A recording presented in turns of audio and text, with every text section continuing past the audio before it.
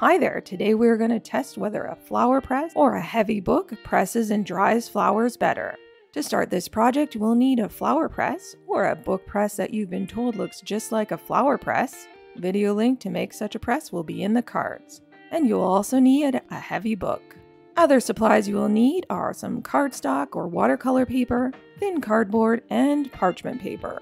And of course, lastly, you'll need some flowers, or as in my case, weeds. To acquire the flowers I used for this video, I took a stroll through my gardens and yard and plucked any bloom I thought suitable for pressing.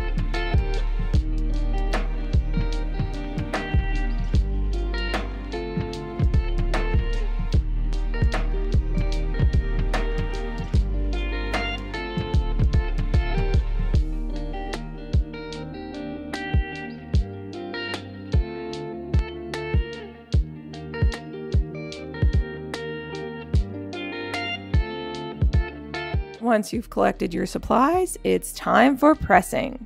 I cut some cardboard from a cereal box along with cardstock and parchment paper down to the size that would fit in my book press, I mean flower press. To press and dry flowers, you need to make a sandwich of a couple layers of cardstock, followed by the flowers,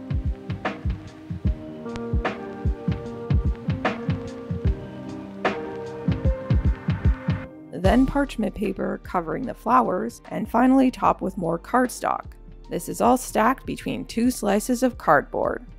Once you've made your flower sandwich, carefully place it into the flower press to prevent any shifting of the flowers.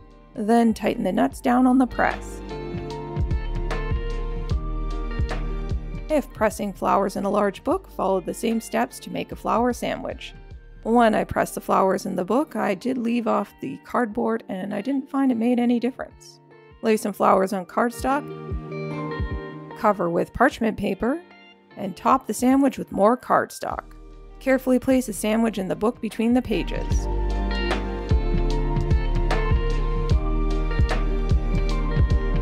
Then place something heavy on top to help compress the pages. Place the press and heavy book in a safe spot and wait three weeks. Yes, I know. Three weeks. Once three weeks, or in my case four, have passed, remove the flower sandwiches from the press and book.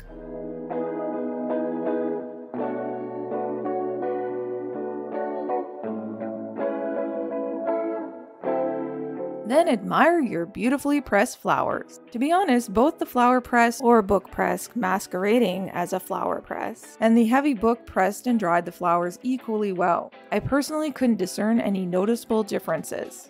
The main issue being that this process takes some time, so make sure whatever method you use that you do not need that book or press for anything else for a few weeks. But what you may ask, can one do with dried flower? Well that my friend will be the topic of another video. So hit that like button and subscribe so you don't miss out. My name is Pam and this is Total Pamarchy, the craft channel with a little anarchy. Until next time. Flowers, flowers, flowers, flowers. Sweet.